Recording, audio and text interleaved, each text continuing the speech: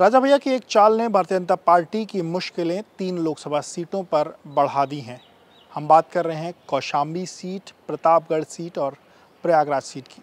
नमस्कार, मेरा नाम है विवेक राय और आप देख रहे हैं एबीपी लाइव राजा भैया को लेकर के ये बात कही जाती है कि राजा भैया और उनका जो दल है, उसका प्रभाव प्रतापगढ़, कौशाम्बी, ये वो सीटें हैं जहाँ पे उनका प्रभाव खासा माना जाता है। और इसी कारण राजा भैया दो विधानसभा ऐसी सीटें हैं जहाँ से लंबे समय से वो और उनकी पार्टी के लोग विधायक चुने जाते रहे हैं।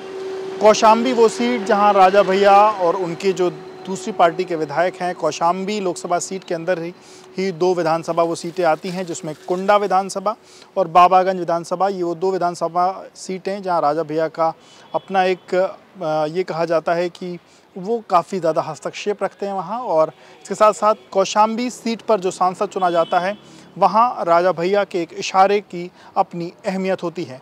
भारतीय जनता पार्टी इसी कारण चाहती थी कि राजा भैया का समर्थन उसको कौशाम्बी सीट, प्रतापगढ़ सीट पर मिल जाए।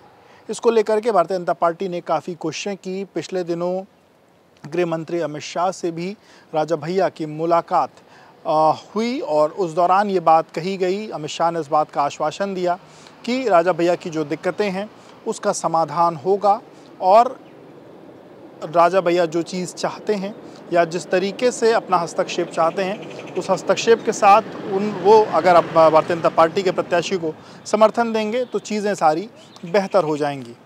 पर कल जिस तरीके से सबसे पहले समाजवादी पार्टी के एक प्रत्याशी जो समाजवादी पार्टी ने कौशाम्बी से जो प्रत्याशी हैं, वो जाते हैं, राजा भैया से उनकी मुलाकात करते हैं, उसके बाद भारतीय जनता पार्टी के जो प्रत्याशी हैं, विनोद सोनकर, वो जाते हैं, उनके साथ संजीव बालियान जाते हैं, मुलाकात करते हैं।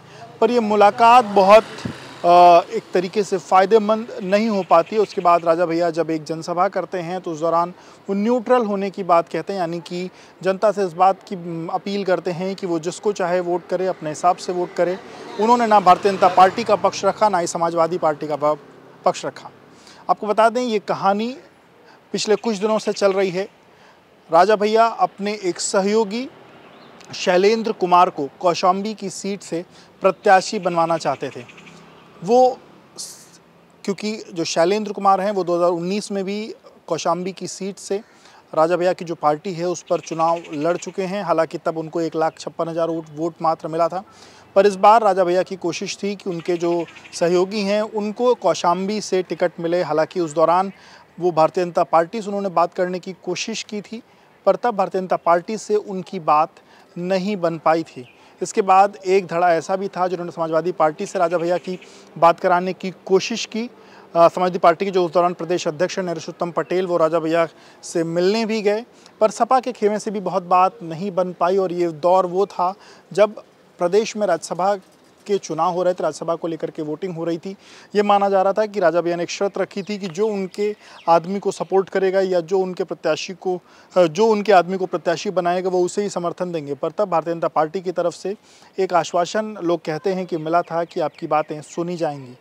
पर जब टिकटों का ऐलान हुआ तो विनोद सोनकर जो कि सिटिंग सांसद थे कौशाम्बी से, उनको भारतीय जनता पार्टी ने एक बार फिर से प्रत्याशी बना दिया और प्रतापगढ़ और कुंडा के लोग और कौशाम्बी के लोग इस बात को इस बात को कहते हैं कि राजा भैया जो कौशाम्बी के सांसद हैं हैं, उनको बहुत पसंद नहीं करते हैं।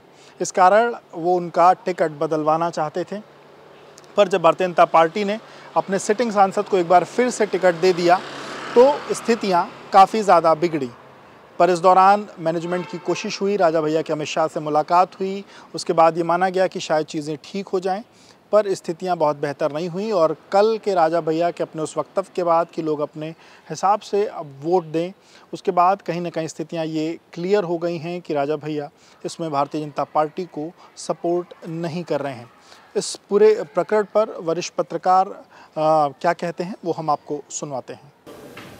सर जो स्थितियाँ कौशाम्बी में, प्रतापगढ़ में देखने को मिल रही हैं, जिस तरीके से बीजेपी चाहती थी राजा भैया का समर्थन चाह पाना, पर कल के बाद ये लग रहा है कि शायद बीजेपी को समर्थन नहीं मिल पाएगा। और अंदरूनी इस बात की भी बात खबर आ रही है कि राजा भैया समाजवादी पार्टी को समर्थन कर रहे हैं। आप कैसे देखते हैं और इसके पीछे क्या पॉलिटिकल स्थिति आप समझ पा रहे हैं? देखिए राजा भैया बहुत लंबे समय से कुंडा, प्रतापगढ़ या कौसाम्बे की राजनीति में अपना असर रखते हैं।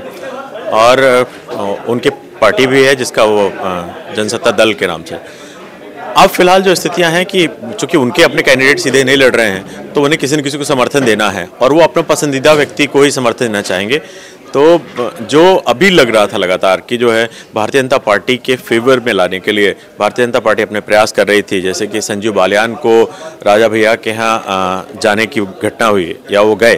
तो उसमें ले दे करके यही था कि भाई, जो उनके स्थानीय सांसद हैं सोनकर तो विनोद सोनकर को वो समर्थन दे दें और विनोद सोनकर की जो है लड़ाई वहाँ पर क्लियर हो जाए कि वो वहाँ से जीत सकें। लेकिन राजा भैया, चूँकि उनके अपने पसंद अपने अपने उम्मीदवारों के लिए होती है, अपने तरीके से होती है। तो वो जो गणित, जो राज, जो जो पर्दे के पीछे वाली थी, लगता है कि कहीं ना कहीं भारतीय जनता पार्टी उसको सेट नहीं कर सकी या उसका बैलेंस नहीं बना सकी। तो यह राजा भैया का झुकाव, जो जो कि भीतर से है, या जो कहा जा रहा है, वो ये है कि समाजवादी पार्टी के उम्मीदवार को वो समर्थन देंगे।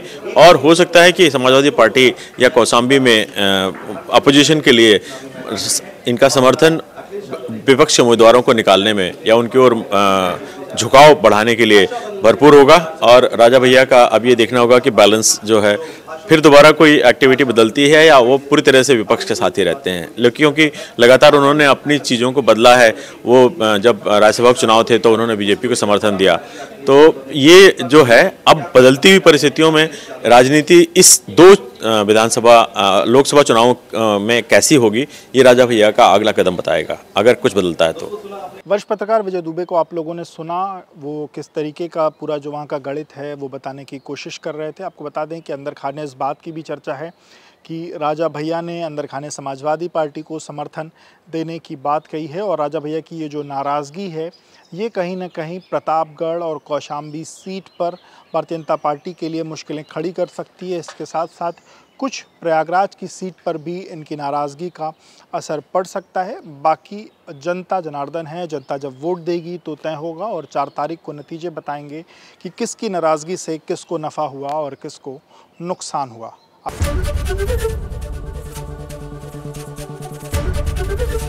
एबीपी गंगा खबर आपकी जुबा आपकी।